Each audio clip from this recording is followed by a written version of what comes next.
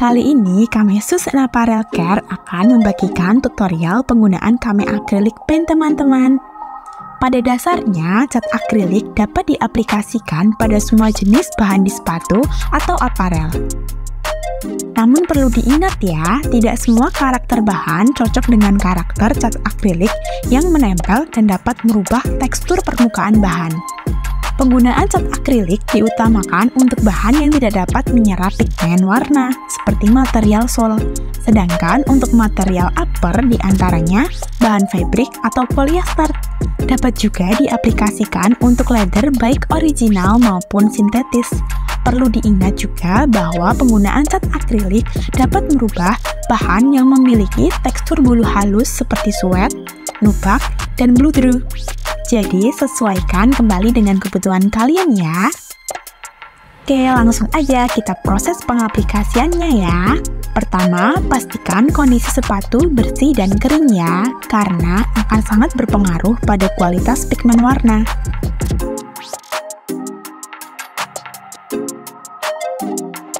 Untuk variannya, ada Creek White,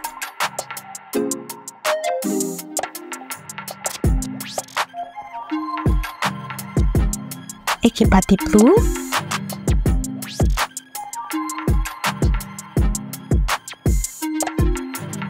Italian Sienna,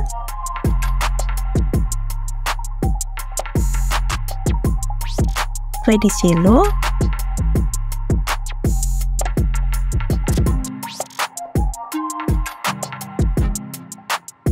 Mongolian Red,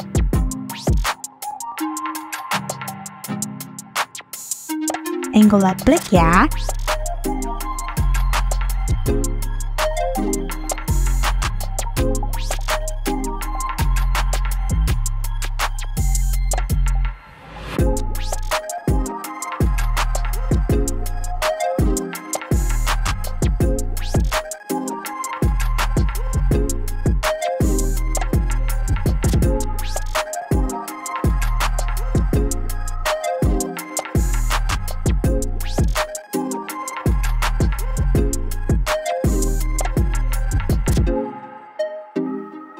Lalu, tutup bagian sepatu atau aparel yang tidak ingin terkena cat menggunakan masking tape.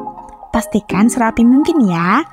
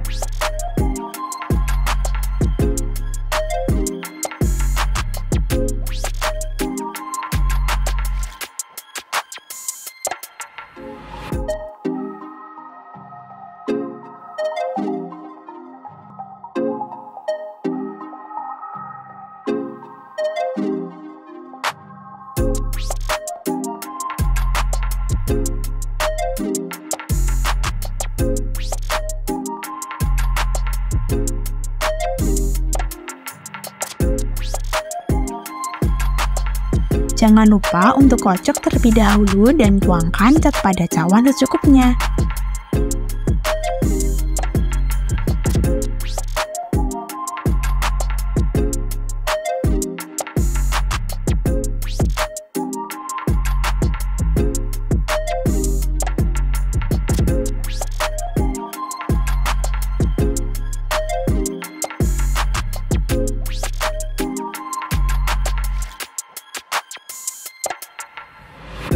Campurkan air dengan maksimal perbandingan 1 banding 1 apabila cat diaplikasikan pada permukaan yang halus dan elastis.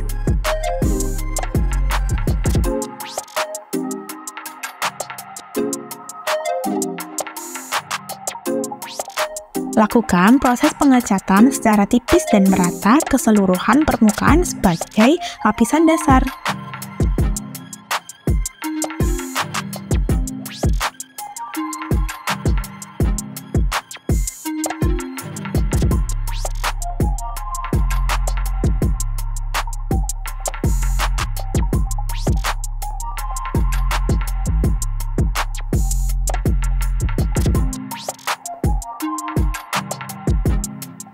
Apabila sudah merata, segera keringkan dengan menggunakan hair dryer. Pastikan cat sudah benar-benar kering sebelum berlanjut ke lapisan berikutnya ya.